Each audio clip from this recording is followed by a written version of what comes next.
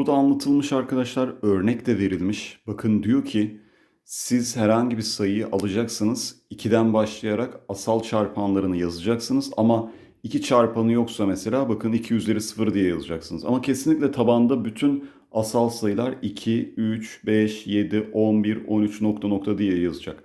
Var mı? O zaman o üstü. Yoksa 0. Mesela diyelim bir sayı burada verdiği gibi yapayım ben de.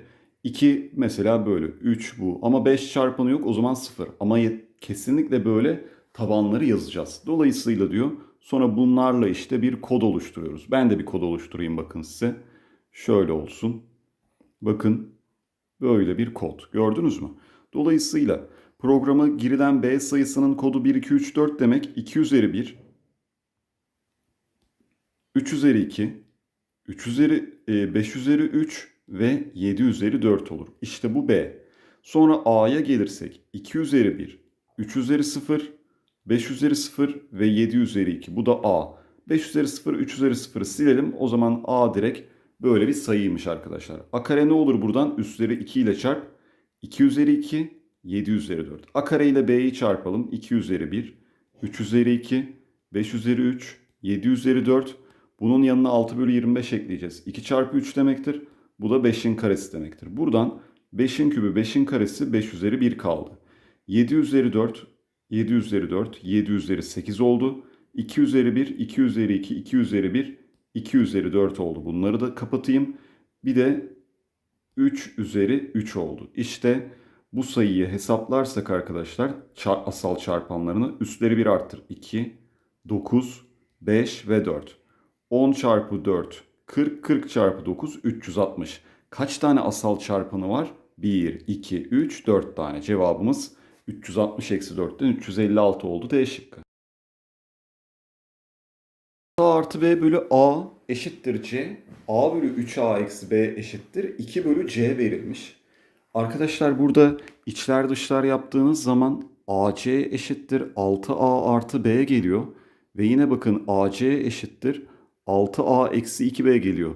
O zaman bakın bunlar birbirine eşit. 6A artı B eşittir. 6A eksi 2B'den 6A'lar gitti.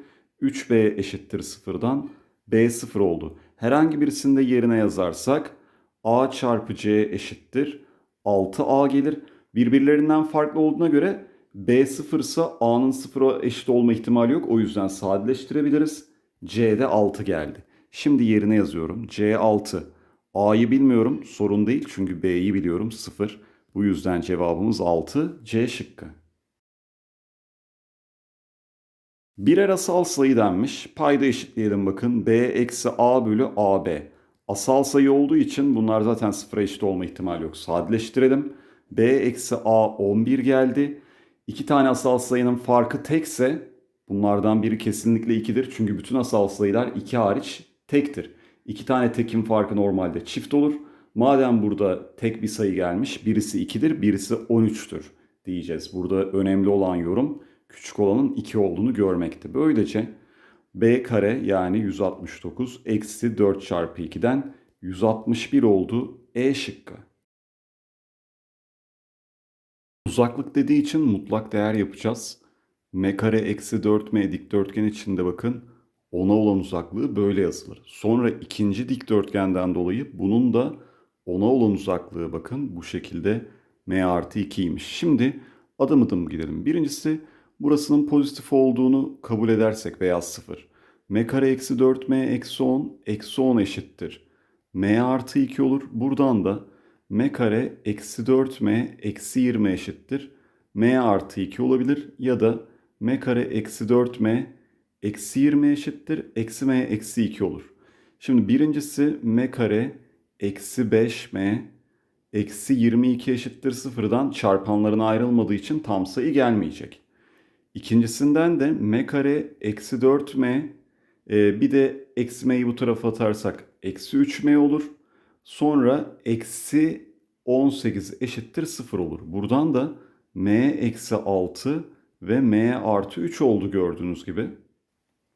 İki tane kök geldi. Yalnız birisi 6, birisi eksi 3. M birden büyük olacak diyordu. Gitti. Sonra arkadaşlar ikinci durum burası negatif olabilir.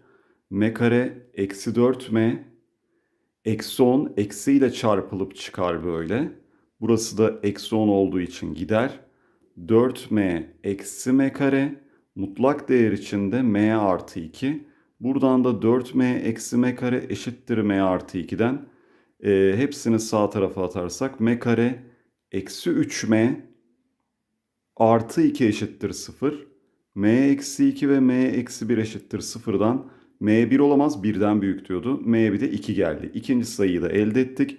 Sonra bir de son olarak 4m eksi m kare eksi m eksi 2'ye eşit olursa çünkü bakın artılısını yaptık bir de içine eksi m eksi 2 olabilir. m kare e, r eksi 5m eksi 2 eşittir 0'da çarpanların ayrılmadığı için tam sayı gelmeyecek. Dolayısıyla cevabımız C şıkkı. Arkadaşlar burada 3 bölü 2 karesini alalım önce bir b'ye bakalım. 9 bölü 4 karesini aldım b karesini aldım 49 bölü 9 böylece şurayı daha kolay görürüz. Ne olacak o zaman? 9 bölü 4 ile 49 bölü 4 arasında bu iki küsür bir sayı. O zaman en az 3 olur. Sonra 4 olur. 49 bölü 5 de şey 49 bölü 9 da 5 küsür bir sayı. O zaman 3, 4, 5 olabilir B. B'yi hallettik. Şimdi gelelim A'ya. Küp kök A küçüktür 3 bölü 2 ise A 27 bölü 8'den küçük olur. Böylece arkadaşlar 27 bölü 8 yaklaşık olarak ne yapar? 3 küsür bir sayı. O zaman A buradan 3 olabilir, 2 olabilir, 1 olabilir. Pozitif dediği için daha da başka tam sayı olmayacak. Buna göre arkadaşlar A noktası, A noktası ikililerden oluşuyor. A, diye. Burada A'nın alabileceği 3 değer var. B'nin alabileceği 3 değer var. 3 çarpı 3'ten toplam 9 tane değer E şıkkı. Bu arada neden çarpıyorum? Bunu şöyle düşünün. 2 kutu Birinci kutuya koyabileceğim 3 sayı var. ikinci kutuya koyabileceğim 3 sayı var. Toplam 9 durum vardır manasında. Önce şöyle bir örnek vererek başlayayım arkadaşlar. Mesela x kare artı 4x artı 4 denkleminin kökü x eşittir eksi 2 ise a kare artı 4 a artı 4 denkleminin kökü farklı olur mu? Hayır yine kökü aynı gelir. Bunu niye söyledim biliyor musunuz? Şimdi ben buraya t dersem Buraya da t dersem t kare artı mt eksi n eşittir. Gerçi t demeyeyim şimdi kafanız karışmasın. a diyeyim. a kare artı m çarpı a eksi n eşittir 0 dersem yine arkadaşlar bu denklem kökü t geliyor. Diğer kökü de t artı 2 geliyor demektir. Aynı şu anlattığım mantıktan dolayı. Katsayıların, değişkenlerin daha doğrusu harflerini değiştirince o denklemin kökü değişmez. İster x'de, ister a'da, ister k'de. Dolayısıyla bu denklemin kökleri t ve t artı 2 oldu. Artık a dediğim ne? Mutlak x eksi 4 eksi 3 eşittir t diyeceğim. Buradan da mutlak x eksi 4 eşittir t artı 3. Buradan x eksi 4 arkadaşlar t artı 3 olabilir. x t artı 7 gelir. x eksi 4 eşittir t eksi t eksi 3 olur. X de buradan eksi t artı 1 gelir. İki tane bakın kök buradan geldi. Sonra e, bir de t artı 2 olacak. Yani mutlak içinde x eksi 4 eksi 3 t artı 2 eşit olabilir. Buradan x eksi 4 eşittir t artı 5 olacağı için mutlak değer içi ya t artı 5'tir. Buradan t artı 9 olur. Ya da arkadaşlar eksi t eksi 5'tir. Buradan da eksi t eksi 1 olacaktır. Buna göre kökler toplamına bakalım neler geldi. t artı 7, eksi t artı 1, eksi t eksi 1 ve t artı 9. t'ler birbirini götürdü. 16 oldu D şıkkı. Yeşil bölmenin aralıkları farklı, sarı bölmenin aralıkları farklı. Sarı bölme toplamda 16 birim, yeşil bölme A birim verilmiş. Şimdi hemen dikkat edelim. X artı 6 o zaman ne olacak? 1, 2, 3 parça var. Şöyle Y, Y, Y desek zaten toplamda burada 8 parça olduğu için bak 1, 2, 3, 4, 5, 6, 7, 8. 8 tane Y 16 olduğu için Y'ne geldi 2. O zaman 3Y ne olur? 6. Demek ki şu sarı kısım 6 birimmiş. O zaman yeşil kısma ne kaldı? X. Bunun bana katkısı şudur. Artık ben ne görüyorum? İki parçanın x olduğunu. Demek ki bir parça neymiş? x bölü 2. Güzel. Burada kaç parça var? 1, 2, 3, 4, 5, 6, 7. 7 tane x bölü 2 eşit oldu x kareye. x sıfır olmadığı için sadeleşir. Buradan da 7 bölü 2 eşittir x geldi. A'da kaç tane? 15 tane. 15 çarpı x'te 7 bölü 2 bulduğumuz için artık ne diyeceğiz? Toplam 15 tane bölüm var. Her bir parça x bölü 2. O zaman x gördüğüm yere 7 bölü 2 yazıyorum. Ama her bir parçanın aman x bölü 2 olduğunu unutma. Bu yüzden 2'ye de bölüyorum. Doğal olarak bir parça 7 bölü 4 geldi. Toplam 15 parça var. 105 bölü 4 oldu E şıkkı. Önce bir tanım. Derecesi 2 olan polinom nedir? Parabol. Onu bir hatırlayalım. İkincisi px sağ tarafa atarsan bak px eşittir p eksi x. Bu neydi? Çift fonksiyon. Çift fonksiyonun özelliği nedir? y eksenine göre simetriktir. Doğal olarak bir polinom fonksiyon ikinci dereceden parabol y eksenine göre simetrik. Demek ki bunun köklerinden biri eksi a ise diğeri a'dır. Gerçekten o zaman bak tepe noktası y ekseninde olur ve bir çift fonksiyon olur. Ya da işte böyle fark etmez kollar yukarı doğru ya da aşağı doğru net bilgi çift fonksiyonun kökleri simetriktir. Eksi a öbür kökü de a olur. O zaman bu parabolün köklerinden ikisi a ve eksi a olması için zıt işaretli olan köklerimiz sadece ne var? Eksi 3 ve 3 var. Baş katsayımız k olsun buna göre. Köklerimi artık yazabilirim gönül rahatlığıyla. Baş katsayısını bilmiyorum ama en azından böyle yazacağım. Eksi 3'e 3 ve ister kollar yukarı doğru ister aşağı doğru işte parabolün denklemi. Bu parabolün denklemini böyle verdiği zaman ne demiş bize? Bu kenarda duracak demiş. Yani bir nevi. Bir polinom var 2x eksi 2 ile bölümünden kalanı söylemiş. Tamam x gördüğün yere o zaman ne yazacaksın? 2x eksi 2'yi sıfıra eşitleyip 1 yazacaksın. Klasik bir polinomda bölme. Hemen sıfıra eşitle x'i bul. Buradan da x gördüğün yere 1 yazarsam 1 eksi 1 artı 1'den demek ki bu neymiş? P1. P1'i soru bana 24 vermiş. Hemen giderim burada yerine yazarım. K çarpı 1 artı 3 4. 1 eksi 3 eksi 2 eşittir 24.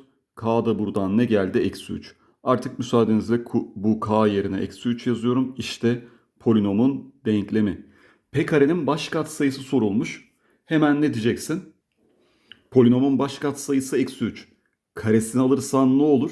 Normalde bu eksi 3 x kare artı 9. E, hatta dur yazayım. Gör bir. x kare eksi 9 parabolün x'li kısmı. Eksi 3 ile çarparsak eksi 3 x kare artı 27. Net bir şekilde gör ki px'in bu olduğunu. Karesini alırsan ne olur bu ifadenin? p kare x yaparsan 9 x üzeri 4 nokta nokta nokta böyle gider. O zaman baş katsayımız ne oldu? Polinomun karesini alınca 9 oldu. D şıkkı geldi. Hemen şu bilgiyi vereyim zaten. Bir polinom baş katsayısı a ise hemen yazalım bak baş katsayı px diyelim a olsun. Sen bunun n'ninci dereceden kuvvetini alırsan ne olur? Tabii ki baş katsayının da n'ninci dereceden kuvvetini alırsın. Bu yüzden bir polinomumuz vardı baş katsayısı eksi 3'tü. Karesini al demiş. O zaman karesini alınca 9 çıktı. Buradan da düşünebiliriz. Yani D şıkkı geldi. Doğrusal fonksiyonlar ver, verilmiş birinci dereceden px, rx, bx ve qx şeklinde. Hemen denklemin içine yazmak çok kolay. Ee, burada ister doğru denkleminden yaz, istersen de polinom denkleminden yaz mis gibi. Ne, ne dersin? Kökü eksi 2. Kökü eksi 2 olan birinci dereceden denklem budur işte x artı 2. Peki baş katsayısı nedir? Onu nasıl anlayacaksın? x'e 0 verdiğin zaman 2'den geçiyor. O zaman bak baş katsayısı 1 oldu. Yani denklemi böyle de bulabilirsin. Ya da ezber bir bilgi söyleyeyim. Eksenleri kestiği nokta bilinen doğrunun denklemi budur. y'nin altına y'yi kestiği yer, x'in altına x'i kestiği yeri yazarsın. İşte sana doğru denklemi. Lütfen analitik çalışın. Analitik temel olarak çalışırsanız bunlarda rahat edersiniz yoksa kafanız karışır. Dolayısıyla bak böyle yazarsın ya da y eşittir mx artı n. Doğrunun e, x'in katsayısı eğimdir. Tanjant alfa 1 olduğu için x artı n'ye gelir.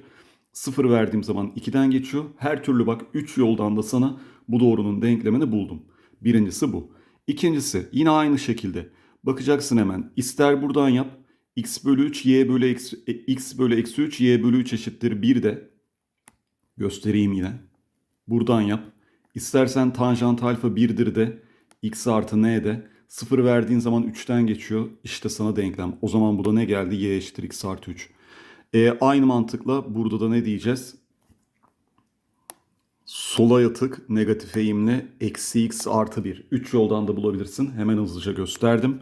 Yine burada da aynı şekilde birinci ve ikinci de yaptığım yoldan yola çıkarak burada da artık ne söyleyeceğiz? Eksi x artı 2 qx'in denklemi.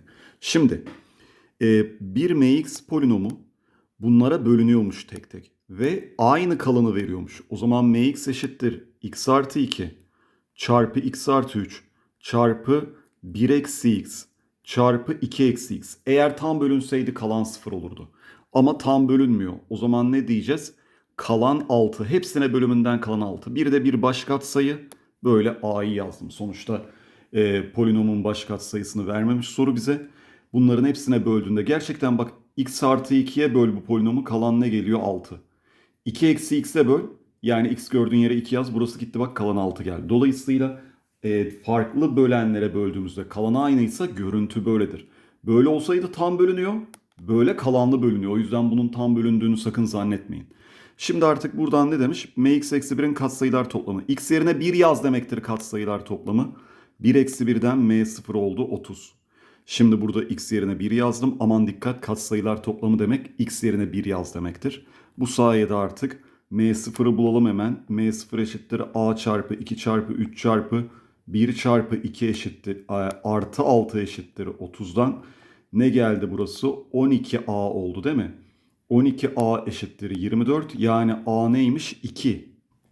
Artık a gördüğüm yere 2'yi yazdım. İşte sana polinom denklemi. mx'in x eksi 3 ile bölümünden kalan ne demektir? x eksi 3'ü sıfıra eşitlersen x gördüğün yere 3 yaz. m 3'ü soruyor. Yapıyoruz o zaman m 3 eşittir 2 çarpı 5 çarpı 8 Sonra e, 3 1 eksi 3'ten eksi 2. Daha sonra 2 eksi 3'ten eksi 1 artı 6. Buradan da ne oldu? 2 kere 5 10 8. 8 kere 2 e, şey 2 kere 5 10. 10 çarpı 8. Sonrasında e, ha şuraya pardon düzeltiyorum. 3 3 daha 6 yazacağımız 8 yazmışım. Düzeltiyorum affedersiniz. 2 çarpı 5 10. 10 çarpı 6 20. 20 çarpı 2 120. Buradan da ne oldu? 126 yani D şıkkı geldi.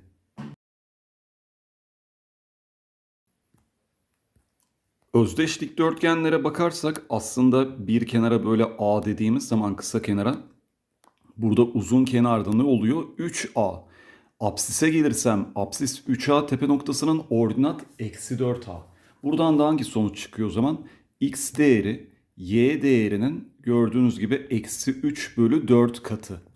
Şimdi herhangi bir tepe noktasında bunu göreceğiz o zaman. Yapalım. Şu parabolün tepe noktasının apsisi nedir? Eksi b bölü 2a'dan 6 bölü 2 3 gelir. Hemen x yerine 3'ü yazıyorum. f3 eksi 9 artı 18 eksi 3. Eksi 21 e, eksi 22 18 daha eksi 4 geldi. Gerçekten bu k oldu. R yani 3 eksi 4'ün eksi 3 bölü 4 katı mı? Evet. Demek ki birinci bu formata uygun. Geliyorum ikinciye. Tepe noktasının apsisi 6 bölü 4'ten 3 bölü 2. Yazıyorum yerine. Eksi 2 çarpı 9 bölü 4 artı 6 çarpı 3 bölü 2 artı 4. Şimdi bunları bir sadeleştiriyorum. Eksi 9 bölü 2 payda eşitleyeyim 18 bölü 2 artı 8 bölü 2. 26'dan 9 çıkar. 17 bölü 2 oldu. Demek ki tepe noktasının apsisi burada tepe noktasının ordinatının eksi 3 bölü 4 katı olmadı gitti. Sağlamadı şartı. Son olarak bir de bakalım 12 bölü 8'den e, tepe noktasının apsisi burada da 3 bölü 2. Yazıyorum yerine eksi 4 bölü 9 bölü 4 artı 12 çarpı 3 bölü 2 eksi 11. Şimdi e, eksi 9, eksi 11 daha eksi 20 oldu. Sonra burada da eksi 26. Buradan da ne geldi? 18. Yani 2 oldu. Şimdi eksi 2 oldu pardon. Eksi 2'nin eksi 3 bölü 4 katına yapıyor. 3 bölü 2. Cidden bak 3. öncülde de yine tepe noktasının apsisi tepe noktasının ordinatının eksi 3 bölü 4 katı oldu. 1 ve 3 sağladı E şıkkı. Denemenin şöyle bir olumlu tarafı var arkadaşlar. Şimdi siz konuları iyi biliyor olabilirsiniz. Ama böyle ufak tefek yorumlarla size bazı bilgileri hatırlatıyor hem de o bilgileri yorumlamanızı istiyor. Şimdi çok basit bir durum aslında. Bir parabol x eksenine teğetse ya böyle kolları yukarı doğrudur ya da aşağı doğrudur tamam mı? Şimdi burada böyle bir parabol düşünelim. Şimdi px eksi 3 küçük eşit 0 diyor ya o zaman hemen parabolü önce bir burası n olsun. 3 birim sağa kaydırdım. n artı 3 oldu. Yine şöyle bir parabol olduğunu düşünelim. Yine 3 birim sağa kaydıralım. Yine n artı 3 oldu. Kolları aşağı doğru mu yukarı doğru mu nasıl anlayacaksınız? İşte normalde bir polinomun küçük eşit 0 olması için çözüm kümesi sadece 5 elemanıysa o zaman bu polinom kolları yukarı olan bir polinomdur. Veya parabol artık ikisi de aynı şey ikinci dereceden dediği için zaten. Ve sadece bakın teğet olduğu yerde sıfıra eşit olacağı için geri kalan her yerde bu sıfırdan büyüktür. Bu yüzden işte burada n artı 3 5'miş. Kollar aşağı doğru değilmiş. Yoksa 5 dahil her yerde negatif olurdu. Şunu derdi yani. Reel sayılar derdi. Reel sayılar değil sadece 5 noktasıysa geri kalan her yerde pozitif demek istiyor sana. Dolayısıyla buradan n eşittir 2. Demek ki bu parabol 2'ye 0 noktasında teğetmiş. Baş kat sayısına a diyelim. x eksi 2 karesi eşittir y diyeceğiz. K neden yok çünkü tepe noktasının ordinatı 0. Böylece eksi 1'e 27 üstündeymiş parabolün. Yaz yerine eksi 3'ün karesi eşittir. 27 oldu. A da buradan 3 oldu. Demek ki parabol 3 x eksi 2'nin karesi eşittir y. P0 soruluyor. 3 çarpı 4 eşittir. 12 oldu C şıkkı. Güzel bir soru. Soruda böyle bir görüntü var ve insan Allah Allah ne yapacağım falan diyor ilk etapta. Ama hiç öyle düşünmenize gerek yok arkadaşlar. Siz sorulara başlarken bakın bu hani sınavda da ÖSYM'in yaptığı bir taktik gibi oluyor. Böyle bir korkutuculuk oluyor, korkutuculuk oluyor soruda. Ama yorum yaptığınızda kendi bilgilerinizi konuşturduğunuzda aslında büyük bir sıkıntı olmadığını görüyorsunuz. Normal ayırın yani korkmadan çarpanlarına şöyle ayırdıktan sonra kökleri bir tabloya yazın bakalım. Burada köklerimiz neler? Eksi 1, 0, 1, 5 ve 6. Burada x eksi 1, x eksi 1 olduğu için bir çift katlı unutmayalım. Baş kat sayı zaten artı, artı ve artı olduğundan artı ile başla. Eksi, artı, burası çift katlı kök. Bir de artı, eksi, artı. Zaten arkadaşlar gerçekten gösterdiği gibi eksi 1'den sonra bakın sonsuza doğru gidiyor. Yine 6'dan sonra bu normal devam edecek bir yerden böyle devam edecek sonsuza doğru. Sonra bakın 5 ile 6 arasında negatif, eksi 1 ile 0 arasında negatif. Dolayısıyla bu fonksiyonun bana x ekseni altında kalan kısmının en geniş tanım kümesi demek. x ekseni altında kalan kısmının çözüm kümesini bul diyor. O da zaten negatif olduğu yerler. B şıkkı. Burada Kazım, Nihal ve Cesur'a odaklanırsanız metnin yanına gelmesinler diye işin içinden çıkamazsınız. Nitekim öyle olmuştur. Düşünmemiz gereken olay şu. Metin herhangi bir yere geldiği zaman bunu bir nevi diğerlerinin adı neydi? Ece ve Berk. Ece ve Berk koruması lazım. Yani Ece ve Berk bunun etrafında olacak ki böylece diğerleri yanına gelmesin. Bu birinci durum. İkinci durum metin en başa atarsınız. Bunun yanına Ece'yi verirsiniz. Ya da metine en sona atarsınız Ece'yi verirsiniz yanına. Ya da üçüncü durum metini e, en sola atarsınız yanına Berk'i koyarsınız. Yine Berk'i buraya koyarsınız, Metin'i buraya koyarsınız. İşte bunların toplamı arkadaşlar aslında olay. Böylece eğer Ece ve Berk Metin'i arasına alırsa EMB şeklinde bunlar 3 kişi olur. Geriye kalan C, K, N insanları bunlar paket halinde bir arada. 3 kişi de bunlar. 3 kişi burası. 1 paket burası toplam 4 paket gibi. 4 faktöriyel. Bir de E ve B kendi içinde yer değiştirir. Böylece metini aralarına alarak diğerlerini yanına yaklaştırmamış olurlar. İkinci durumda ise metini en sola attığınız zaman e, bunun yanına da Ece'yi verdiğinizde geriye 4 kişi kalır. Bunlar istediği gibi 4 faktöriyel dizilir. Aynı zamanda Metin'le Ece'yi en sona EM diye de atabiliriz. İki durum var arkadaşlar. Aynı durum Metin Berk ve Berk Metin şeklinde de 4 faktöriyel çarpı 2 olacak arkadaşlar. Şurada örnek bir görüntü onu da yapalım. Bakın diğerleri C, K, B ve E diğeri de neydi? Nihal. Böyle yerleşebilir. Ya da Berk ve Metin'in olduğu bakın geri kalan kişiler de E, C, K, N şeklinde böyle yerleşebilir. O yüzden 4 faktöriyel çarpı 2, 4 faktöriyel çarpı 2 burası da zaten yine aynı şekilde. Sayısal olarak aynılar ama tabii ki burada bakın bu aralarını aldıkları bu metinin başta veya sonda olduğu bu da yine metinin başta veya sonda olduğu toplam durum sayısı 144 E şıkkı. Arkadaşlar renklerle hangi noktaların eşit uzaklıkta olduğunu görelim. İki tane nokta seçeceğiz sonuçta. Şimdi bakın şu yeşiller A'ya eşit uzaklıkta. O zaman bunlardan ikisini seçebilirim. Artı. Sonra şöyle alayım kırmızıyı. Bakın şuralar kök 5 birim olacağı için 2 birim 1 birim dersek kök 5 birim olur. Dolayısıyla bu, bu ve bu 3 nokta A noktasına eşit uzaklıkta. Bunlardan iki tanesini seçebilirim. Veya şöyle bakın köşelerden direkt şu maviler eşit olabilir. İkinin ikilisi. Son durumda bir tane daha renk alayım. Bir de arkadaşlar bu iki köşe bakın gördüğünüz gibi A köşesine eşit uzaklıkta. Böylece aşağısı zaten 9'un ikilisi 6 bölü 36 oldu. 1 bölü 6 C şıkkı. Fx ne demek arkadaşlar? Grafiğin altın e, x eksenine göre simetriğini almak demektir. Dolayısıyla x eksenine göre simetriğini aldığımız zaman bakın fonksiyon şöyle bir fonksiyona dönecek. Burası 4, burası 0, burası yine eksi 4.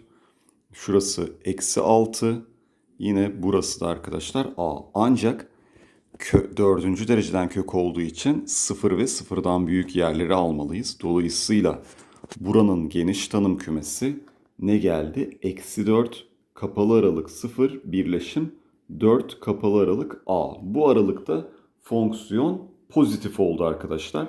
Pozitif veya sıfır olduğu için kök dışına çıkabilir. Ona dikkat etmeliyiz payda. Paydada ise bir birim sağa attığımız zaman eksi 3'ten geçer artık kök. Diğer kök 1'den geçer. Diğer kök de 5'ten geçer. Gerisinin çok bir önemi yok arkadaşlar. Niye biliyor musunuz?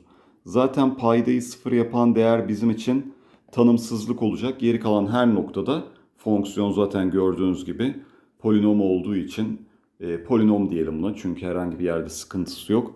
Herhangi bir yerde sıkıntısı olmadığı için, tanımsızlık olmadığı için, içi boş olmadığı için sadece paydayı sıfır yapan değerler tanımsızdır.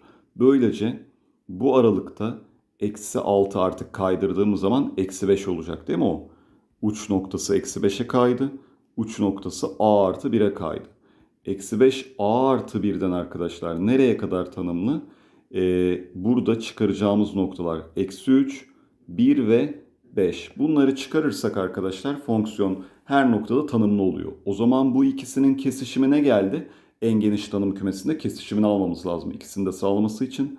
Eksi 4'ten 0'a kadar birleşim 4'ten a'ya kadar ama eksi 3, 1 ve 5'i çıkarmalıyım. Şimdi buradan o zaman toplayacağımız zaman eksi 4 alırız. Eksi 3 alamam. Eksi 2. Eksi 1, 0. Şu aralıktan arkadaşlar 4'ü alabiliriz. 5'i ee, gideceğiz işte. 5'i alamayacağız. 6'yı alacağım, 7'yi alacağım nokta nokta böyle gideceğim tamam mı? Şimdi yalnız şuna dikkat edelim. Eksi 4, eksi 2 daha eksi 6, eksi 1 daha eksi 7. Şimdi eksi 7'ye ne eklemeliyim ki sağlayan değerlerin toplamı 18 olsun. Şimdi 4 ekledim eksi 3 oldu. 6 daha ekledim 3 oldu. 7 daha ekledim 10 oldu. 8 daha eklersem 18 oldu. Demek ki arkadaşlar işte burada A'nın alacağı değer 8'miş. Eksi 4 ile 0 aralığı, birleşim 4 ile 8 aralığı, eksi 3, 1 ve 5'i çıkarınca toplamları 18 olmuş. Yani D şıkkı. 2 noktasında kesen ve x eksenini bilmediğimiz noktalarda kesen doğrular arkadaşlar. Bunların alanları terimleri veriyormuş. Mesela A1 2 çarpı 1 bölü 2'den 1'e eşit. A4 ise 2 çarpı m bölü 2'den m'ye eşit. Ee, bilmiyoruz mesela A6 nedir şey A10 diyelim tamam mı? O da 2 çarpı t bölü 2'den t olacak. Ama bunlar sonuçta bir aritmetik dizi oluşturuyor. Ona dikkat edelim. O yüzden A4'ü A1 cinsinden böyle yazarım hemen. Normal standart aritmetik dizi formülü AK eşittir AN artı D çarpı N eksi K'ydı. O yüzden arkadaşlar burada da 4 ile 1'in arasındaki fark 3. Bu yüzden 3 ile D'yi çarptım tamam mı? D ortak fark. E A1 zaten 1. Demek ki A4 mesela 1 artı 3D'ye eşit arkadaşlar tamam mı? A6'ya gelelim mesela. Burada A4 ile işim yok ama A6 ile işim var. A6 1 artı 5D'ye eşit. Aynı zamanda A2 neye eşit? 1 artı D'ye eşit. A6 da 1 artı D'nin karesine eşit demiş bakın. Böylece 1 artı 5D, 1 artı D kare artı 2D, sol tarafı sağ tarafa atarsam D kare eksi 3D eşittir 0. Aritmetik dizi olduğu için ve artarak gittiği için D 0 olamaz. D o zaman 3 oldu. D 3 olduğuna göre A7 eşittir. A1 artı 6D A7 eşittir 1 artı 6 çarpı 3'ten 19 arkadaşlar D şıkkı. Birincisi bir kere arkadaşlar 16 eksi x karenin sıfırdan büyük olması gerekiyor. İkincisi burada 5 e, eksi x'in sıfırdan büyük olması gerekiyor. Bir de arkadaşlar 1 eşit değildir. Log 2 5 eksi x demeliyiz. Çünkü payda sıfır olursa o da tanımsız olur. O yüzden 2'yi öbür tarafa atarsak 2 üzeri 1. 5 eksi x. x buradan 3'e eşit olmamalı. Bu da kenarda durmalı. Buna göre 16 eksi x kare büyüktür 0 dediğimiz zaman 4 eksi x çarpı 4 artı x. Ve aynı zamanda 5 eksi x büyüktür 0. Bunun tablosunu yaptığımız zaman eksi 4 sonra 4 sonra 5. Şimdi birinci eşitsizlik eksi ile başlayacak. Kökler eksi 4 ve 4 olduğu için bakın burada sağlanır. İkincisi de 5 eksi x büyüktür 0. O da eksi ile başlayacak. Kökümüz burası artı artı artı olacak. İkisinin de sağlandığı yer eksi 4 ile 4 arası oldu bakın. Birinci eşitsizlik bu, ikinci eşitsizlik bu. Buna göre eksi 4 ile 4 aralığı ancak ne demiştik? x 3'e eşit olmamalı. Bu yüzden cevabımız B şıkkı. Logaritma ifadeleri verilmiş ve bunlardan herhangi üçünü seçtiğimizde her zaman 3'ten büyük oluyormuş. O zaman hangi üçünü seçersem seçeyim 3'ten büyükse en küçük üçünü seçerim. En küçük üçü bile 3'ten büyük oluyorsa toplamları o zaman şart zaten ayrı ayrı sağlanır diğerlerinde. O zaman en küçük 3 taneyi nasıl tespit edeceğim? Zaten 9'u bilmiyorum e, diğerlerine bakacağım. Şimdi orada mevzumuz şu. Nasıl olsa logaritma 2 tabanında kök 2. Bu ne demektir? Logaritma 2 tabanında 2 üzeri 1 bölü 2 yani bu 1 bölü 2. Daha sonrasında kart 2 e, logaritma 5 tabanında 40 olduğu için logaritma 5 tabanında 25 olsaydı 2 olurdu. Bu 2 küsür bir sayı. Sonra logaritma kök 3 tabanında 3'te nedir? Kök 3'ün karesi olduğu için 2. O zaman bak kart 1 e, burada ortanca kart e, kart 1 en küçük pardon. Sonra kart 3 sonra da kart 2. Yani küçükten büyüğe böyle sıralandılar. O zaman en büyüğü hiç almam. Yani kart 2'yi hiç almam. Çünkü aralarından seçeceğim en küçük 3 tanesini böyle bak en küçük 3 tanesi. Bir de neden log 9 alıyorum? Onu da en küçük yapmak için. Böylece en büyük sayıyı almıyorum. Diğer 3 sayıyı en küçük yapmış olacağım. Ve en küçükleri bile ne olacak? 3'ten büyük olacak. Yapıyorum o zaman log 2 kök 2 1 bölü 2. Sonra log kök 3 tabanında 3 2. Bir de logaritma 9 tabanında m eksi 2 ne oldu? Tabii ki 3'ten büyük oldu. En küçük 3 sayının toplamı bile 3'ten büyük. Doğal olarak buradan logaritma 9 nasıl yazılır? 3 üzeri 2 logaritma m eksi 2. O zaman 2 başa katsayı olarak ters çevriliyordu tabanın üstü. Sonra artı 5 bölü 2 büyüktür 3. 1 bölü 2 logaritma 3 tabanında m eksi 2 attım sağ tarafa. 1 bölü 2 bunlar gitti sadeleşti. Logaritma 3 tabanında m eksi 2 birden büyük geldi. O zaman sağ tarafa atarsak m eksi 2 ne olur? 3 üzeri 1'den 3'ten büyük olur. m öbür tarafa atınca 5'ten büyük oldu. En küçük iki tam sayı değeri 6 ve 7. Toplamları 13 oldu C şıkkı. ln kare x artı 2 ln kare y 3 ln x çarpı 3 e, ln y var. Her iki tarafı ln x çarpı ln y'ye bölersen bakın. Biraz şu şeyden ilham alıyorum. Hani a artı b böyle a çarpı b sorularında böyle yaparız. Sonra bunlar gider a bölü b, b bölü a olur ya. Onun gibi bir şey. Böylece bakın ln kare x ln x çarpı ln y artı 2 ln kare y ln x çarpı ln y eşittir 3 oldu. Şimdi burada da bunlar sadeleşince ln x bölü ln y artı 2 ln y bölü ln x eşittir 3. Şuna şimdi k dersem k artı 2 bölü k eşittir 3 oldu. Payda eşitliyorum. k kare artı 2 eşittir 3k. k kare eksi 3k artı 2 eşittir 0 ve k eksi 2 k eksi 1 eşittir 0. k 2 olabilir k 1 olabilir. Bu ne demek? ln x bölü ln y yani tabanları aynıysa alttakini taban kabul et üsttekini sayı. Böyle yapıyorduk bir de. Bu arkadaşlar 2'ye eşit olabilir. Veya ln x bölü ln y yani yine aynı şekilde logaritma y tabanında x 1 olabilir. Şimdi logaritma x tabanında y ters çevirirsek burayı logaritma x tabanında y 1 bölü 2'dir. Neden? Hatırlayalım. Logaritma a tabanında b x ise logaritma b tabanında a 1 bölü x'ti arkadaşlar. Bu da kenarda dursun. Böylece logaritma x tabanında y 1 bölü 2 olabilir. Ya da logaritma x tabanında y 1 olabilir. Şıklarda 1 bölü 2 var. A şıkkı.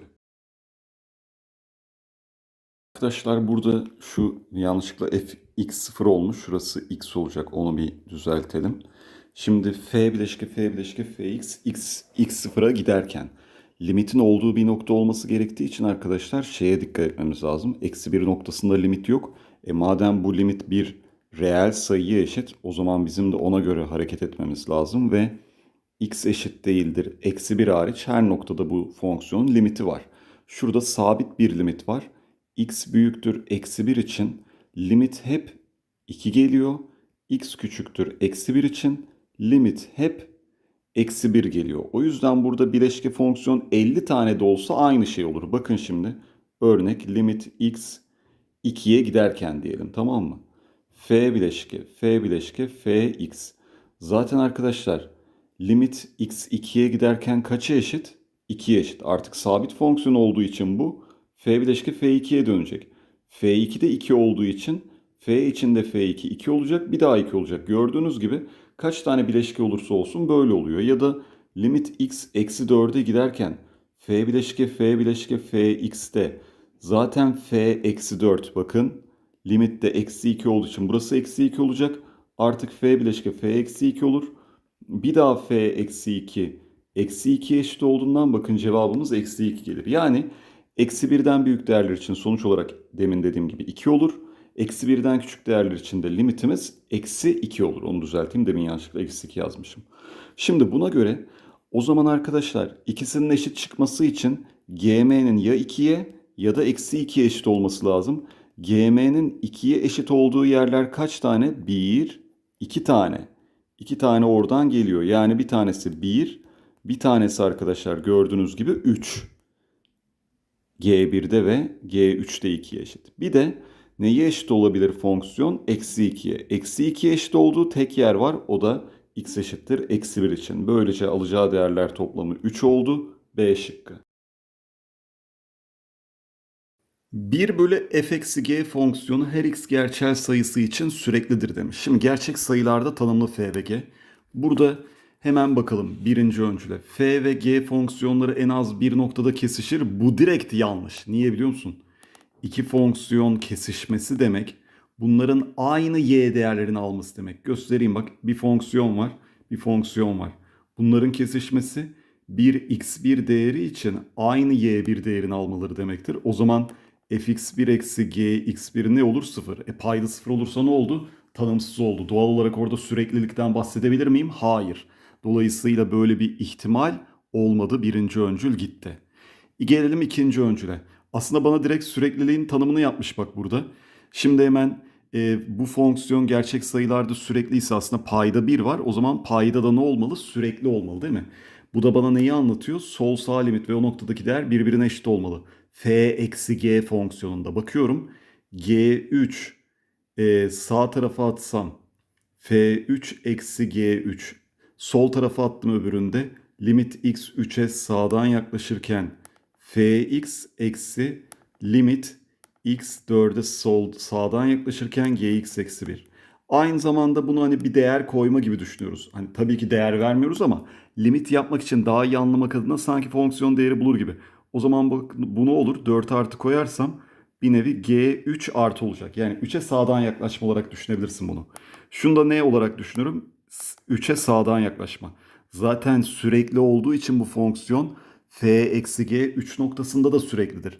f eksi g 3 noktasında sürekli ise tabii ki f3 eksi g3, f3 eksi g3 yani 3'e soldan yaklaşırken ki e, fonksiyonların farkının limiti hepsi birbirine eşit oldu. Doğal olarak bu ikisi de eşit olacak. İkinci öncül zaten tanım gereği olması gereken şey. Sürekli olduğu için sol sağ limitler ve noktadaki değer eşit olmalı. Biz burada f ve g'nin ayrı ayrı limitli sürekli olduğunu biliyor muyuz? Bak bununla ilgili hiçbir bilgim yok. Dikkat et. f ve g'nin sadece tanımlı olduğunu biliyorum. O zaman farkları limitli diye çarpımları da limitli olmak zorunda mı? Kesinlikle değil. Çok basit bir örnek göstereyim mi sana? 3'e soldan yaklaştığın zaman G 3'e soldan yaklaştığında F3 sağdan yaklaştığında G3 sağdan yaklaştığında F3 ve G3 değerlerini düşünelim. 3'e soldan yaklaşırken bu 1 olsun, bu 2 olsun tamam mı? Sonra bu 3'e sağdan yaklaşırken 4 olsun, bu 5 olsun. Sonra bu 3 değerin f fonksiyon 3 değerinde 6'yı alsın, bu da fonksiyon 7 değerini alsın. Bak bakalım farkları ne geldi? Eksi 1. Ne geldi eksi 1? Ne geldi eksi 1? Sol sağ limitler ve noktadaki değerler eşit mi? Evet. Şimdi hadi çarpımın limitine bak. Sol limit çarpımda 2. Sağ limit çarpımda 20.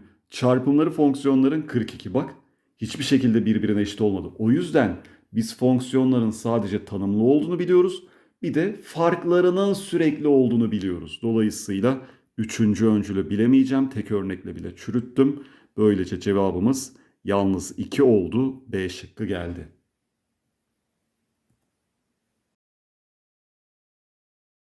Arkadaşlar reel sayılarda tanımlı olan fonksiyonların birebir örtenliğini anlamak için benim size tavsiyem grafiği çizin. Zaten y eşittir x kare grafiği kolay bir grafik.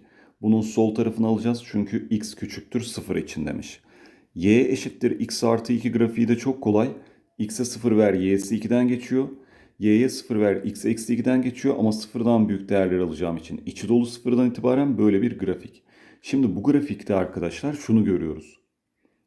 Yatay doğrular çizdiğiniz zaman gerçekten hepsi pozitif gerçek sayılara tanımlı değil mi bu değerlerin? Y'lerin hepsine bakın gidiyor. O yüzden bu fonksiyon örtendir. Örten ne demekti? Değer kümesinde boşta eleman kalmayacak ya da diğer bir deyişle değer kümesi görüntü kümesine eşit olacak. Bak bunun görüntü kümesi pozitif reel sayılar çünkü şurasının içi boş. Değer kümesi pozitif reel sayılar. O zaman madem değer kümesi görüntü kümesine eşit o zaman bu kesinlikle doğru. Birebir fonksiyon mu? Hayır. Bir fonksiyon birebir olmaz arkadaşlar. Bakın şuralarda fonksiyon hep iki noktada kesiliyor. O yüzden şu aralıkta fonksiyon birebirliği bozuluyor. İki nokta aynı yere gitmiş. Bakın hem eksi 2 mesela 2'ye gitmiş gibi düşünün. Hem eksi 2 demeyeyim de uyduruk bir değer düşünelim. Hem bu 2'ye gitmiş gibi. Hem şuradaki 0 2'ye gitmiş gibi. Ya da şuradaki 1 değeri, şuradaki eksi 2,5 değeri hep y olarak şu aralıkta aynı yere gitmiş. Bu yüzden fonksiyon birebir değil. Her x gerçek sayısı için süreklidir. Hayır. Bakın sıfır noktasında kopma var. Limit hatta şöyle yazayım kısaca f0 eksi 0 iken f0 artı 2'ye eşit. Limitler birbirine eşit değil. O noktadaki fonksiyon değerine de eşit değil. Bu yüzden cevabımız yalnız 2 B şıkkı. Uzun türev almamak için şunu bence fark etmek gerekiyor. Zaten o yüzden çözüm yapıyoruz. Bakın bu x kare eksi x'in parantez karesi gerçekten açın. Birincinin karesi. Birinci ile ikincinin çarpımının iki katı. ikincinin karesi. O zaman f x kare eksi x eşittir. X kare eksi x'in parantez karesi artı 2. O zaman bunun yerine artık şunu diyebiliriz. İçerine girerse girsin karesinin iki fazlası çıkmış. Böylece fx eşittir. x kare artı 2'dir. İşimiz rahatladı. f bileşke fx. Burada türev alacağımız zaman ne demekti? f türev f x. Sonra çarpı f türev x. Önce dışının türevi sonra içinin türevi. X yerine 1 yazdığımız zaman f türev f1 çarpı f türev 1 diyeceğiz. Şimdi f1 kaça eşit arkadaşlar? Artık bakalım 1 artı 2'den 3'e eşit. f türev x neye eşit peki? 2x. O zaman f türev f1. f1'i 3 bulduk. f türev x de 2x olduğu için burası 2 çarpı 3. Burayı hallettik. Çarpı f türev 1 ne demektir? 2 çarpı 1'den 2 demektir. Böylece 4 çarpı 3 12 olur B şıkkı. Normalde uzun uzun tabii anlatmamak lazım. Sonuçta deneme çözüyorsunuz arkadaşlar ve bir öğrenci deneme çözüyorsa büyük ihtimal büyük eksiklerini bitirmiş demektir. Yani öyle olmasını isteriz ama bu tarz soruları çok karıştırdığınız için bir ben size ufaktan bir bilgi vereyim. Birincisi limitin e, türevin daha doğrusu limit tanımını lütfen bilin. MEP kitaplarında bayağı bir ayrıntılı olarak verilmiş. Bu sizin için önemli. Bakın türevin limit tanımı şudur limit f x artı h eksi fx bölü x artı h eksi x limit x h'a giderken f türev x'tir. Bunu bilmek gerekiyor. Bir de bunun diğer bir versiyonu da şudur. Limit x a'ya giderken fx eksi fa bölü x eksi a'dır. Bu da yine f türev a'ya eşittir. Şimdi bu ikisini bilmek lazım arkadaşlar. Onu söyleyeyim. Bir de L'Hopital diye bir şey var. Aslında müfredatta yok ama bazen öğretmenlerimiz e, ben de dahil böyle yeri gelince bahsediyorum daha kolay geliyor diye. L'Hopital şudur. Diyelim bir limit sorusunda 0 bölü 0 belirsizliği çıkarsa payın ayrı türevini alırsın. Paydanın ayrı türevini alırsın. Buradan da yine belirsizlikten kurtulabilirsin. Bakın şimdi bu 3 bilgiyi soruda kullanacağım size. Hemen gösteriyorum. Burada x yerine 1 yazınca dikkat ederseniz 0 geliyor pay. E payda da 0 geliyor. 0 bölü 0 belirsizliği. Birincisi formülden yaparsın. fx eksi fa bölü x eksi a mantığı var bakın burada. Limit x a'ya giderken. O zaman limit x 1'e giderken f türev x eksi f türev 1 bölü x eksi 1 aslında f türev ikinci türev 1'dir. Çünkü fonksiyonun buradaki kendisi türev fonksiyonu. Onun bir daha türevini aldığınızda f türev değil f ikinci türev 1 soruluyordur. Bu şekilde bir buradan görebilirsiniz. İkincisi e, 0 bölü 0 belirsizliği olduğu için payın ayrı türevini alıyorum şimdi. f türev x eksi f türev 1'in türevi f'in ikinci türevi x. Sayının türevi zaten 0'dır. Bölü x'in türevi 1 sayının türevi 0. Hakikaten bakın limit x yerine 1 giderken x yerine 1 yazdığımızda da f'in ikinci türevi 1 oldu. Hangisinden görürseniz görün ama şunu lütfen anlamaya çalışın. Anlarken de daha doğrusu ezberini bilin yani. Böylece limit f h artı 2 eksi f2 bölü h. E zaten arkadaşlar bu da yine limit tanımının şu formülü bakın en klasik formülü size vermiş burada. 2'den biraz uzaklaşmışız demek bu. Limit 2 artı eksi f2 bakın burayı da doldurayım. Normalde işte budur. 2 artı h'tan 2 çıkarılmış. 2'ler gitmiş. O yüzden bu da f türev 2'dir arkadaşlar. Anlaştık mı? Bu şekilde söyleriz. O zaman benden sonra f türev 2 istiyor. f türev 1 de soruda 4 verilmiş. f'in ikinci türevi daha doğrusu. Yazalım yerine şimdi 4x küp eksi 6x kare artı 2mx. Bir daha türev al. 12x kare eksi 12x artı 2m. Şimdi bu f'in ikinci türevi yaz yerine 1'i 12 Eksi 12 artı 2m eşittir 4'ten m 2 oldu arkadaşlar. Şimdi biz hangisini kullanacağız? Birinci türevi olduğu için burayı kullanacağız. O da neye eşit oldu? 12x kare eksi 12x e, pardon birinci türev şurasıydı affedersiniz. Birinci türev buydu. 4x küp eksi 6x kare artı 4x. x yerine 2 yazalım. F türev 2'yi bulalım. E, buradan da ne oluyor? 8 kere 4 32 eksi 24 artı 8. 40'tan 24 çıktı. 16 geldi D şıkkı. da arkadaşlar dikkat etmemiz gereken ilk şey sondan başlayayım. Türev fonksiyonuna çizilen teğet diyor. O zaman bir daha türevini alınca f'in ikinci türevi 1, 3'e eşit. f türev 4'ü soruyor bize. Ona göre bakın bu ifade bu şekilde tamam mı? Şimdi bir üçüncü dereceden polinom fonksiyon var. Bu üçüncü dereceden polinom fonksiyon türevini aldığınız zaman ikinci dereceye düşer. Ve bunun en geniş olduğu aralık, azalan olduğu aralık. Bakın Bunları kök kabul edersek böyle şu an f türev x'i yazdım. fx'i değil.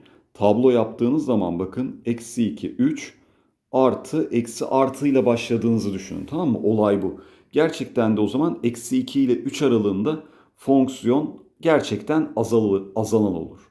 Şimdi buna göre birinci türevi yaptığımız zaman burada f'in ikinci türevi de 1 3 ise ne yapacağız? Bir daha türev alacağız a x kare eksi x eksi 6 türevini alırsak a 2x eksi 1 e, eşittir f'in ikinci türevi. Buradan da arkadaşlar yerine yazarsak a çarpı 1 eşittir. 3 geldi. a 3'müş. Şimdi buna göre o zaman fonksiyonun türevi buymuş arkadaşlar. f türev 4 soruluyor bize. Yerine yazdığımız zaman 3 çarpı 4 artı 2'den 6 4 eksi 3'ten 1 18 oldu. B şık geldi.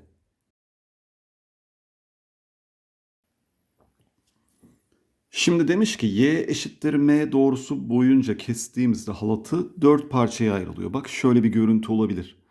Örnek veriyorum. Burası bak 1, şöyle 2, daha sonra 3 ve gerçekten 4 parçaya ayrıldı. 4 parçaya ayrılmayan bir durum göstereyim. Mesela tam bu tepe noktasından geçse şurası bir parça, burası iki parça oluyor.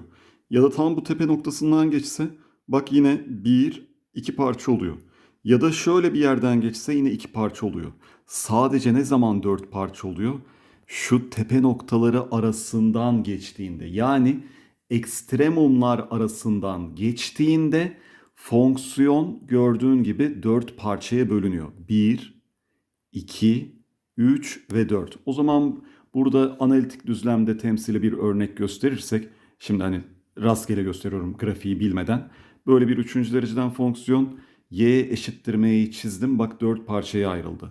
1, şurası 2, sonra burası 3 ve 4. O zaman ne olmalı? Ekstremum değerlerinden biri yani y1 diyelim. Ekstremum değerlerinden biri y2. y1 o zaman m'den büyük oldu y eşittir m değerinden y2 de m değerinden küçük oldu. Olay budur. Dolayısıyla şimdi burada hemen bakıyorum. Ne yapacağız? Kontrol edelim. 2x küp eksi 3x kare eksi 12x artı 1. Tepe noktasının apsisini bulmak için tepe noktalarının yani ekstremumların. Ne diyeceğiz? f türev f türev x alıyoruz. 6x kare eksi 6x eksi 12 eşitle sıfıra. Buradan 6 parantezinde x eksi 2 çarpı x artı 1 oldu. Bu sayede ekstremum değerlerinden biri 2, biri de eksi 1 geldi. O zaman hani analitik düzlemi şimdi artık biliyoruz grafiği tahmin usulü gibi yapalım. Böyle bir şey oldu. X ve Y ekseni tepe noktasının apsisi ve yine tepe noktası yani ekstremumun apsisi iki tane geldi. Birisi yerel max, birisi yerel min. O zaman buradan şunu anlayacağız. F eksi 1 ne olmalı? M'den küçük olmalı bak. F eksi, e, şey F eksi 1 M'den büyük olmalı pardon burası. O zaman F eksi 1 M'den büyük oldu. Ve F2'ye bakalım. F2 ne? Gerçekten bak M'nin altında kaldı. O zaman bu da böyle oldu. Yapıyorum. Şimdi yerine yazdığım zaman fonksiyonun değeri eksi 1 noktasına nedir? Sol üstte yazıyorum takip et. Eksi 2, eksi 3, artı 12 artı 1. Bu da ne yaptı? 13. 5 çıkardım 8. Demek ki M 8'den büyük olmalıymış. E, M 8'den küçük olmalıymış. Şimdi gidiyorum. Yerine ne yazıyorum? 2. E, 8 kere 2 16. Eksi 4 kere 3 12. Eksi 24 artı 1. Buradan da 4 artı 1 5. 5 eksi 24 daha ne oldu? Eksi 19. Demek ki eksi 19'da m'nin altında kaldığı için böyle bir durum oldu. m sayısı bunların arasında hangisi oluyor? Eksi 12 oldu. 7 olur mu? Hayır. 8'den büyük. 8'den ha, pardon. Ee, eksi 12 oldu. Çünkü eksi 19'dan büyük. 8'den küçük. 7 olur. 8 ile eksi 19 arasında ama eksi 24 olmaz. O eksi 19'dan bile küçük oluyor. Dolayısıyla ekstremumla alakalı böyle güzel bir yorum sorusuydu. Cevabımız E şıkkı 2-3. Türevine benzeyen ifadelere bir böyle u demek lazım. Bakın x üzeri 4 artı 1'in türevi nedir? 4x küp. Sonuçta burada da x küp var. Tamam evet 4x küp değil ama şöyle halledebiliriz. 4 ile çarp 4'e böl. Böylece bakın artık benzedi. Bu zam o zaman ne diyeceğiz? Türevini aldığımız zaman buna u dediğimizde 4x küp dx eşittir du Artık 4x küp dx gördüğümüz yere du yazarız. Küp kök u deriz. İntegral 1 bölü 4 orada durur. u dediğimiz aynı zamanda 3 dediğimiz şeydi arkadaşlar. u üzeri eksi 1 bölü 3 du olacak. Ne yaparız biz? Tabii ki integralini alırken üstü 1 arttırırız. u üzeri 2 bölü 3 olur. Şu arttırdığımızı paydaya yazarız. Bir de 1 bölü 4 burada durur. Artı c'yi de unutmayalım. Bundan dolayı 1 e, bölü 4 2 bölü 3 dedik. Ters çevirirsek onu 3 bölü 2. 3 bölü 8 u üzeri 2 bölü 3 artı c. u dediğimiz şey x üzeri 4 artı 1. Bunun arkadaşlar küp kökü bir de karesi. Böylece x üzeri 4 artı 1'in karesinin küp kökü çarpı 3 bölü 8 artı c d şıkkı. Her zaman önce mutlak değer dışına çıkarmak lazım. Burada da zaten x kritik noktamız eksi 1 olduğu için eksi 1'den büyük değerlerde olduğu gibi çıkar. Zaten a'da pozitif sayıymış. Bu yüzden eksi 1 ile a arasında olduğu gibi çıkar. Hemen integralini almak kolay. x kare bölü 2 artı x eksi 1'den a'ya. Yerine yazarsak a kare bölü 2 artı a eksi 1 bölü 2 artı 1. Böylece Hatta eksi 1 pardon. Şurası da eksi 1. Buna göre a kare bölü 2 artı a. Şurası eksi 1 bölü 2 olduğu için artı 1 bölü 2 oldu. Eşittir 9 bölü 2. a kare payda eşitliyorum. 2a 9 bölü 2 1 bölü 2 çıkarırsak eksi 8 bölü 2. Böylece e, burası da 8 olmuş oldu. a artı 4 ve a eksi 2 eşittir 0. Tabii ki a negatif değil a pozitif 2 oldu E şıkkı. Ters fonksiyonda dikkat etmemiz gereken şey 4 ile 7 arasında bakın. Şöyle 1, 2, 3, 4. Y ekseni ile grafik arasında kalan bölgedir. İşte o yüzden bu mavi ile taradığım bölge olacak. Bakın 4'ten 7'ye kadar. Burada da bir dikdörtgen var. 1 çarpı 3'ten 3.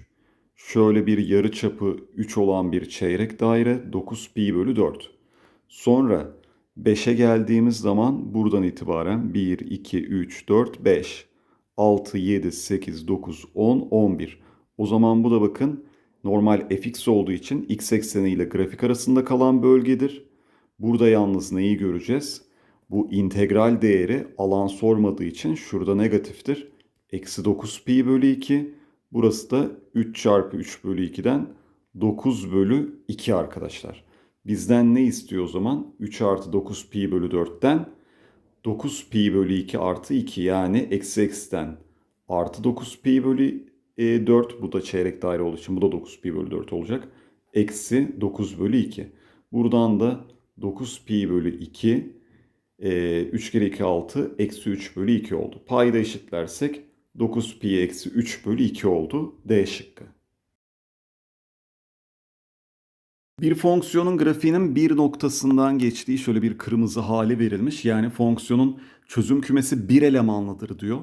Tamam. O zaman çözüm kümesi bir elemanlı zaten bir noktada kesiyor. İşte köklerden bir, sadece bir tanesi diyebilirim. Doğal olarak e, burada ne söyleyeceğiz? Şöyle bir a olsun. Bu fonksiyonu sıfırlayan reel sayı değerimiz analitik düzlemde a oldu. E, ve çözüm kümesinin elemanı da gerçekten böyle bak bir a değeri. Çift katlı değil zaten tek katlı hatta bir katlı. E, doğal olarak bir tane a var başka da hiçbir kök yok. f1 f5 sıfırdan küçükse çarpımları bu ne demektir? Bir fonksiyon e, bu şekilde türevlenebilir olduğunda, sürekli olduğunda yani aynı zamanda ne olur? Bir negatif, bir pozitif değer alması için delip geçmesi lazım x eksenini. Demek ki 1 burada kalıyor, 5 de burada kalıyor. A değeri yani kökümüz 1 ile 5 arasındaymış. Buradan bunu anlarım. Fonksiyonun şöyle yapalım bak hani uyduruk bir fonksiyon gösteriyorum. İşte böyle bir fonksiyon gördün mü? Gerçekten bir A köküm 1 noktasında negatif, 5 noktasında pozitif değer alacak ki delip geçsin A noktasında. Şimdi bundan sonra bakalım sıfırdan 1'e fx dx sıfırdan küçük mü?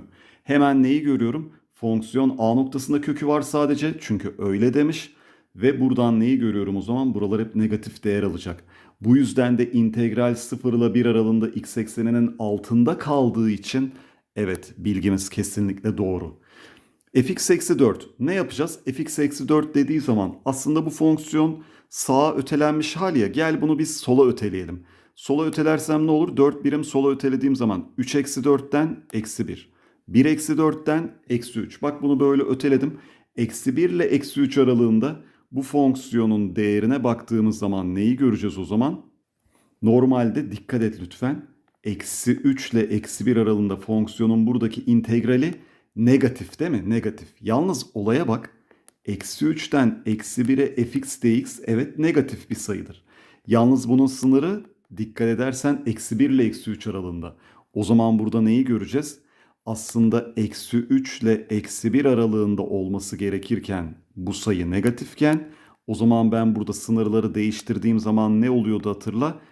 İşaret değişiyordu. O zaman bunun integrali de pozitif olur. Dolayısıyla ikinci öncül de doğru geldi. Bu çok önemli. Bak basit bilgi sınırımız böyle olsaydı evet integral negatif sınırlar yer değiştirmiş işareti değiştirdim eksiden artıya geçti.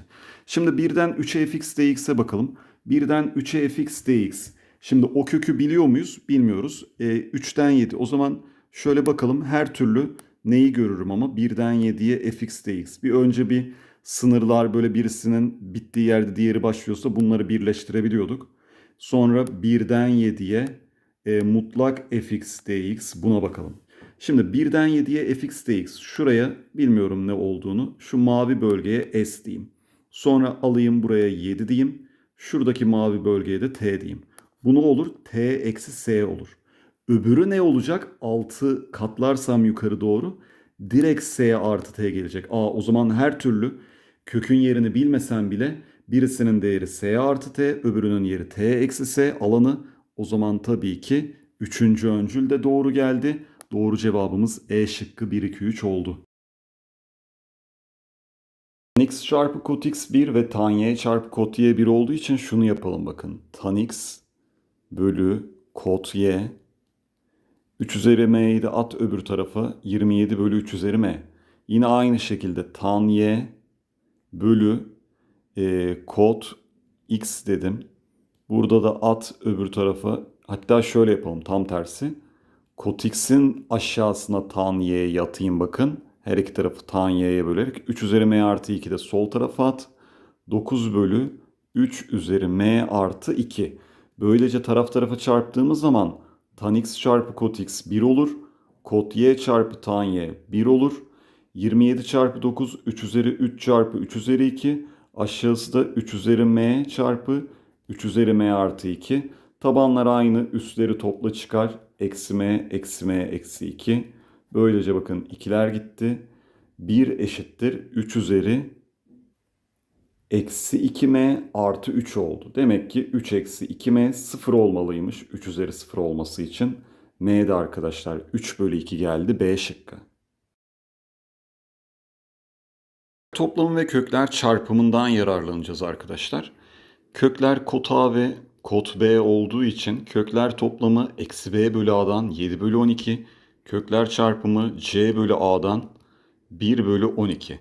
Şimdi tan a artı b'nin formülünü de yazalım kenarda. Tan a artı tan b bölü 1 eksi tan a çarpı tan b. Şimdi buna göre tan a artı tan b nedir aslında? 1 bölü kod a artı 1 bölü kod b'dir.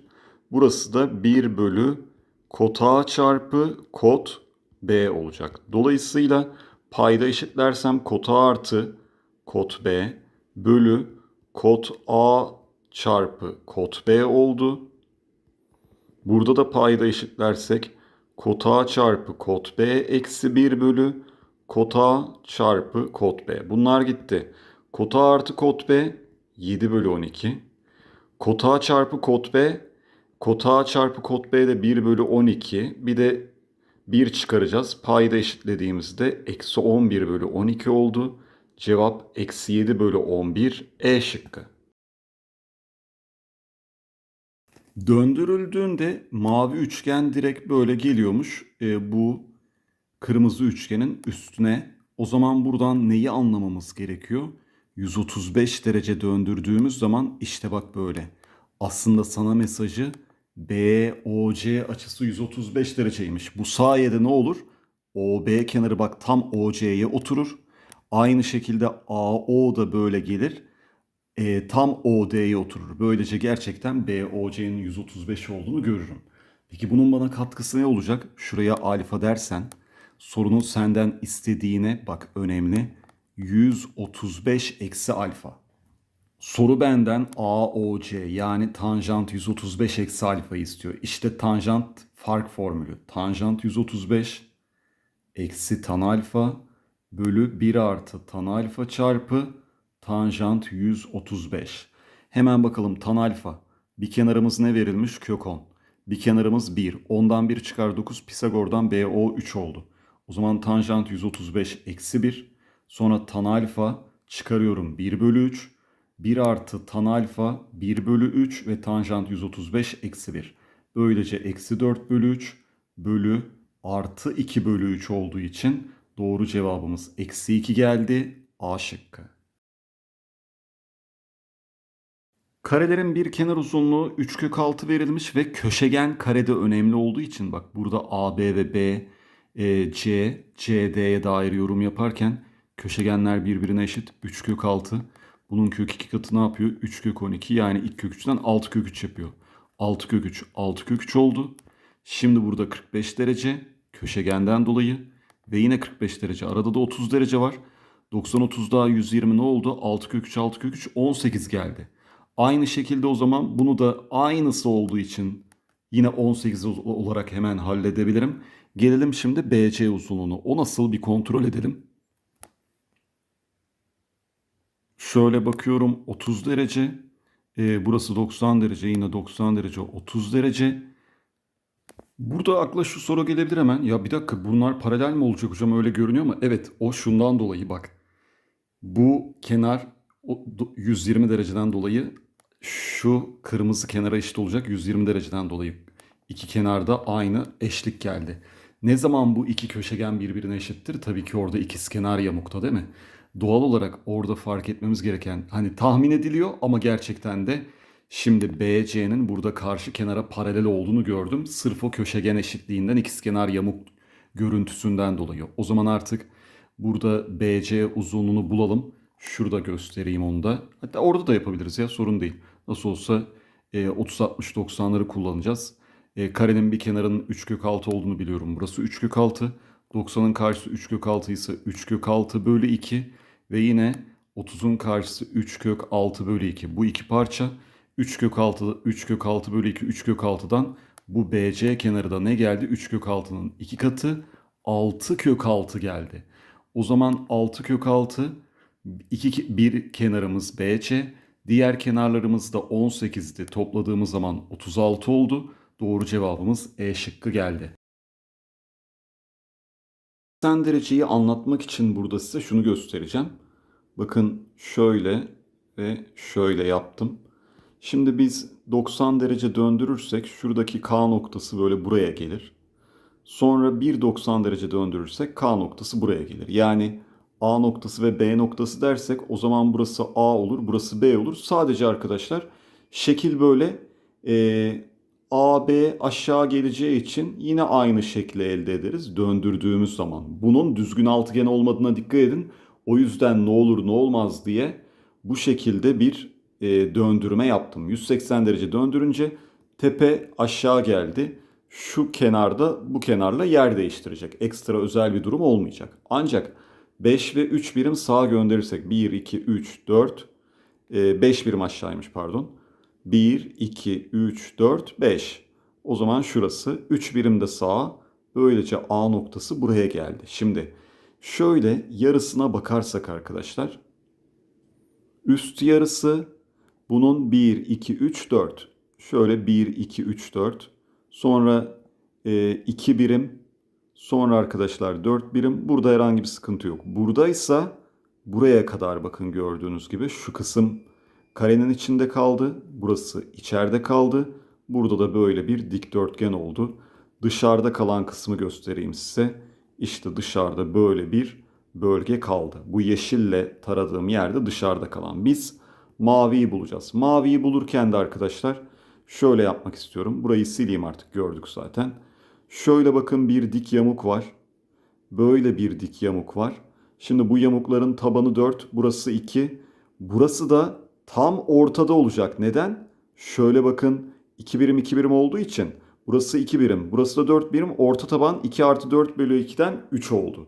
Alt taban artı üst taban 7 çarpı 2 bölü 2 artı şu alan alt taban artı üst taban 4 artı 2'den 6 çarpı yükseklik 4 bölü 2 artı bir dikdörtgen de burada var 2 çarpı 6 toplamda 31 birim kare B şıkkı. Dairesel görünümlü bir parçası da arkada kalan bir parçası önde kalan bu paspaslar verilmiş. Aslında çapı gören çevre açı 90 derece sorusu bak bu. Sonuçta şöyle yaparsak çapı gören çevre açı 90 derece. Yine böyle aynı şekilde bak çapı gören çevre açı 90 derece. Bu üçgen ikizkenar üçgen olduğu için de tabana inen dik ta tabanı 2'ye böler. Yani 12 olduğu için 6, 6 olacak. Sonra o zaman soruda bize BD'yi de 8 vermiş. 6, 8, 10 geldi. DC'yi soruyor. Doğru cevap D şıkkı.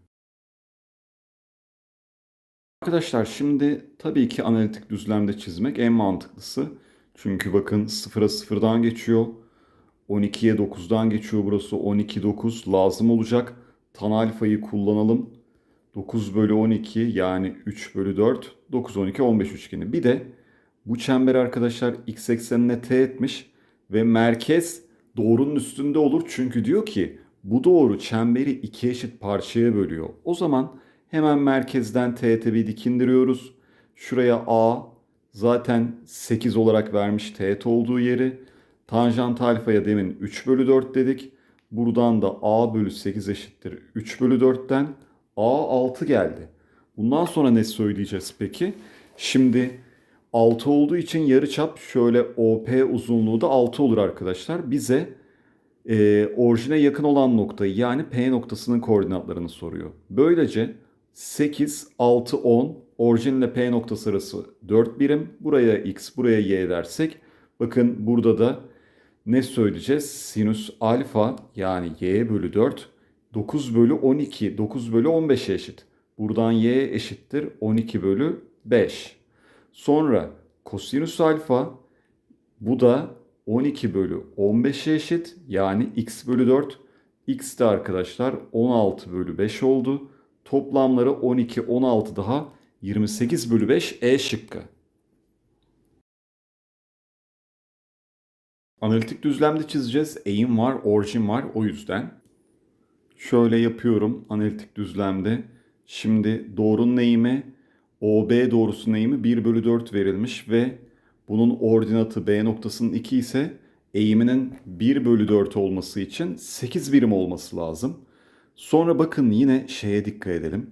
Diğer doğru da OA doğrusu da eğimi eksi 1 bölü 2 ve apsis eksi 4 yani burası 4 birim o zaman 2 birim. Yani arkadaşlar aslında 2 A ve B noktaları ordinatları aynı geldiği için bunlar doğrusal bakın ve x eksenine böyle paralel çıktılar. Sonra C noktası da bunların üzerindeymiş. AB'nin üzerinde bakın. Böylece ne oldu? Burada 2 olduğu için doğrunun eğimi 1 olduğu için işte buraya 2 birim kalacak. Zaten karşısı 4 birim. Böylece arkadaşlar CB'nin uzunluğu da 6 gelmiş oldu. Şimdi OCB üçgeninin alanı 6S olsun. Taban 6 birim çünkü. AOB'nin alanı taban 12 olduğu için 12S diyelim. Demek ki 6S'in 2 katı 12S yapar. Ve cevabımız arkadaşlar buradan E şıkkı. Alanlar oranı tabanlar oranına lütfen dikkat edin. Soruda 6'ya 6 bu yüzden 1'e 2 oran geldi. Tüm üçgenin küçük üçgene oranı. Sonra eğimden dolayı burasının eğimi 1 ya o yüzden 2 dediğim için şu uzunluğa da 2 dedim. Evet, kareyi yorumlarken şimdi tabii ki analitik düzlemden yararlanmamız lazım. Özel doğrular verdiği için çizelim. Y eşittir eksi x. Şöyle x ekseniyle pozitif yönde 135 derecelik açı yapan bir doğru eğime eksi 1. Buraya o yüzden 45 derece kaldı. Diğer doğrumuzda y eşittir 3x. Onu da şu şekilde çizelim. y eşittir 3x. Burası y eşittir eksi x. Şimdi buna göre bakalım. Burada artık şöyle bir kare, onu da şu renkle göstereyim. İçinde kalacak bu bölgenin. Çünkü y büyük eşit eksi x şu demektir. Üst tarafını çiz bu grafiğin. y büyük eşittir 3x ne demek? Yine aynı grafiğin, sağdaki grafiğin üst tarafını çiz. O zaman bunların ortak kesişim bölgesi bu yeşille kırmızının kesişimi. Demek ki bu kare bu iç bölgedeymiş. Yapalım o zaman. Bunların ikisinin de kesişiminde olan bir kare ve eksenlere paralel, e, pardon x eksenine paralel. Dolayısıyla böyle bir kare oldu gördüğünüz gibi. Bu kesişim bölgesinde de kaldı. Bize ne demiş? A ve B köşeleri sırasıyla o zaman bir burada bir burada A ve B köşe sırasıyla bunların üzerinde C burada D de burada. O zaman şimdi bakalım eğimleri de kullanarak K dersem tabii ki tanjant alfadan 3K olur değil mi? Doğrunun eğimi 3. 45-45-90 üçgeninden de tabii ki bu parçada 3K olacak. Karenin bir kenarına dikkat et 4K oldu. Bu sayede yukarıya ne kalır? BC'ye 4K kalır. C noktasının apsisi K, ordinatı şurası 3K, 4K daha 7K oldu gördüğün gibi. O zaman koordinatlar toplamı K 7K daha 8K eşittir 24. K buradan 3. Bizden D noktasını istiyor. D noktasına bakalım o zaman hemen. 3K demek ki apsisine geldi. Eksi 3K. Şimdi ne diyeceğiz? Böyle bir 3K. Sonra burası 4K. Zaten ordinat 7K. Aslında onu söylemeye bile gerek yok ama yaptık artık. Toplamlar o zaman koordinatların 7K eksi 3K'dan 4K oldu. 4K da 24'e eşit. K buradan bu sefer eşit. 4K 24'e eşit diyorum pardon. E, 4K K buradan 3 olduğu için 4 çarpı 3'ten koordinatlar toplamı ne geldi? 12 geldi D şıkkı. 8 ve 12 verilmiş. Şimdi o zaman bakalım açılma işleminde üst parçanın taradığı alan diyor. O zaman şöyle 30 derecelik bir silindir dilimi olacak değil mi? Şöyle baktığın zaman normalde bir silindirin bak 30 derecelik kısmı. Doğal olarak yarı çap 8. 64 pi çarpı yükseklik ne 12. Ama bunun 30 bölü 360'lık kısmını alacağız. Bu da ne yapar 30 bölü 360? 1 bölü 12. Bunlar gitmiş oldu. Hacim 64 pi geldi. B şıkkı oldu.